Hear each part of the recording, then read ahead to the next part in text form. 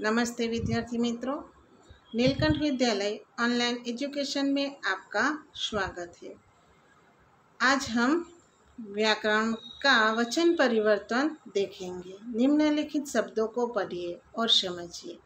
ताला, ताले, लड़का, लड़के, घोड़ा, घोड़े, बेटा, बेटे, कमरा, कमरे, छाता, छाते तोता तोते, रुपया रुपये। उपयुक्त शब्दों को पढ़ने से पता चलता है कि अकारांत पुल्लिंग शब्दों को बहुवचन बनाने के लिए शब्दों के अंतिम आ को ए कर दिया जाता है। रात, राते।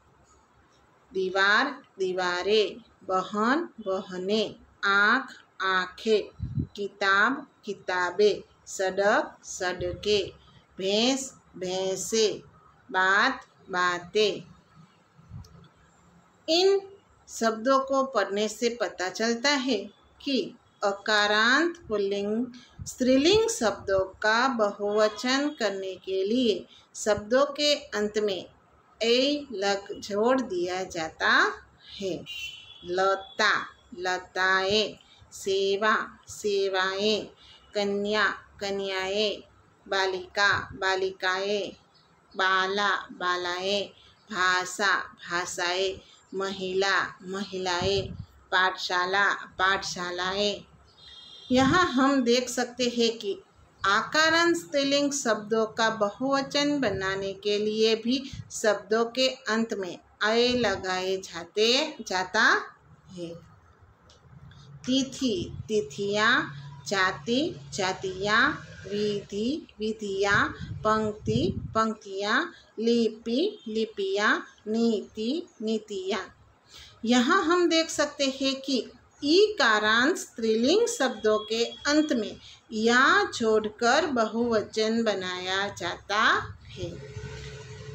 सखी, सखियाँ, चिटी, चिटियाँ खड़की खड़कियाँ, डाली, डालियाँ, मछली, मछलियाँ, कली, कलियाँ। ई कारांत स्त्रीलिंग शब्दों का बहुवचन करने के लिए शब्द के अंत में ई को ई करके या जोड़ दिया जाता है।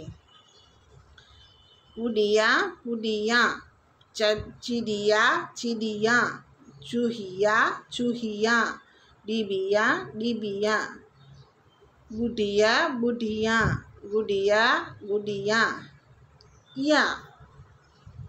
अंत वाले स्त्रीलिंग शब्द का बहुवचन करने के लिए शब्द के अंतिम या को या कर दिया जाता है।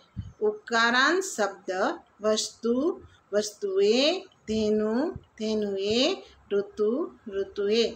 उकारांत स्त्रीलिंग शब्दों के अंत में ए जोड़ जोड़ने से बहुवचन बनता है। उकारांत शब्द, बहु, बहुए, जू, जुए। उकारांत स्त्रीलिंग शब्दों में उ का ओ करके ए लगाने से बहुवचन बनता है। औकारांत शब्द गौ, गौए।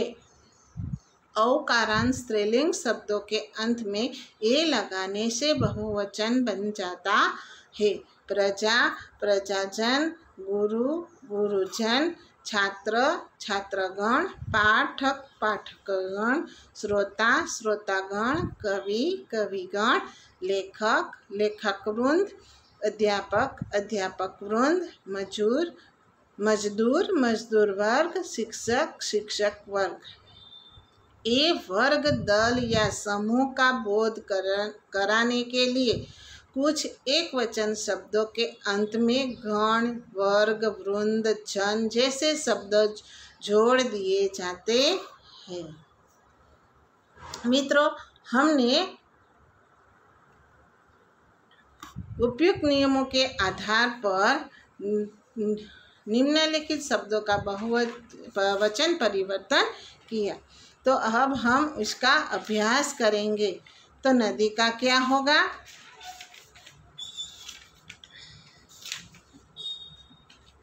नदी का होगा नदिया दरवा किताब तो किताबें दरवाजे तो दरवाजा कला कलाएं कौवा તો શું થશે કૌવે ધાતુએ એ તો ધાતુ सड़के सड़क कुत्ता तो कुत्ते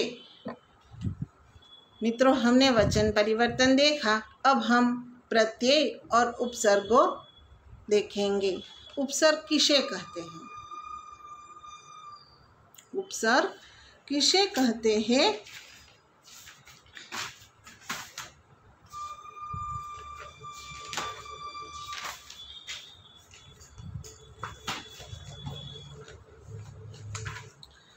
जो शब्दांश किसी शब्द से पहले लगकर शब्द के अर्थ से विशेषण लाते हैं, उसे उपसर्ग कहते हैं। किसे कहते हैं? जो शब्दांश किसी शब्द से पहले लगा, लग कर उसके अर्थ से विशेषण लाते हैं, उसे उपसर्ग कहते हैं। अब हम शब्द अंश को शब्द से जोड़कर नया शब्द बनाएँगे। दूर प्लस गुण, यानी कि नया शब्द दूर गुण, स प्लस गुण, यानी कि सगुण, प्र प्लस गुण प्लस योग बराबर प्रयोग वी प्लस योग बराबर वियोग, स्व प्लस देश बराबर स्वदेश, उप प्लस देश बराबर उपदेश। नीर प्लस गुण निर्गुण औ प्लस गुण अवगुण सम प्लस योग, संयोग, उप प्लस योग, उपयोग, वि प्लस देश, विदेश, अनु प्लस देश, अनुदेश, दूर, नीर, स, औ, प्र, सम, वि, उप, स्व तथा अनु, ऐसे शब्दांश है जिनका प्रयोग स्वतंत्र रूप से नहीं किया जा सकता, इन्हें केवल शब्दों के प्रारंभ में ही जोड़ा जा सकता है। शब्द के प्रारंभ में जुड़ने से ये उनके अर्थ में परिवर्तन ला देते हैं तथा नए शब्दों का निर्माण करते हैं। उपसर्ग वे शब्दांश है जो सार्थक शब्दों से पूर्व जुड़ने पर अर्थ में परिवर्तन ला देता है।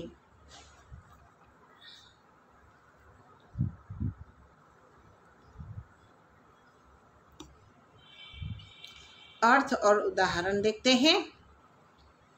अ कभी नहीं निषेध। अज्ञान अगम अम, अमन अछूत अचो अन नहीं अब अभाव निषेध। अनपढ़, अनहोनी, अनजान, अनमोल। क, बुरा, बुरी, कपुत।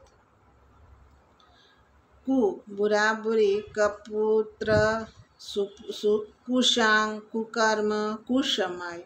नि, अभाव नहीं। निकम्मा, निडर, निठल्ला, निहत्था। पर, पराया, दूसरा, दूसरी पीढ़ी का। परदेश, परलोक, परदादा, परपोता, स, सहित अच्छा सुपुत, सुपरिवार, सुविचार, सकाम, अध, आधा, अध, पका, अधमरा, अधजला, अध, लिखा दूर बुरा दुगुना दुखद, दुर्बल, दुबला, दूर, स्वप्न दुगुना बिन, बिना निषेध। बिन बात, बिन ब्याह, बिन मांगे, बिन कहे। भर पूरा ठेक भरपेट भरमार भरपूर भरचक चौ, चार चौराहा चौमासा चौकोर चौपाई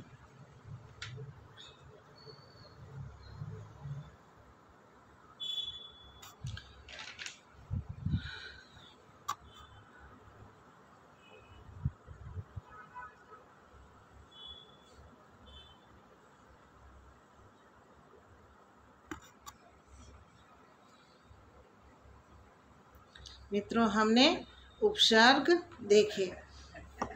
अब हम प्रत्यय के बारे में देखेंगे। प्रत्यय उन शब्दों को कहते हैं जो किसी अन्य शब्द के अंत में लगाए जाते हैं। इनके लगाने से शब्द के अर्थ में भिन्नता यानी कि विशेषता आ जाती है। मित्रों, क्या होता है? प्रत्यय उन शब्दों को कहते हैं जो किसी अन्य शब्द के अंत में लगाए जाते हैं। इनकी, इनके लगाने से शब्द के अर्थ में भिन्नता या विशेषता आ जाती है।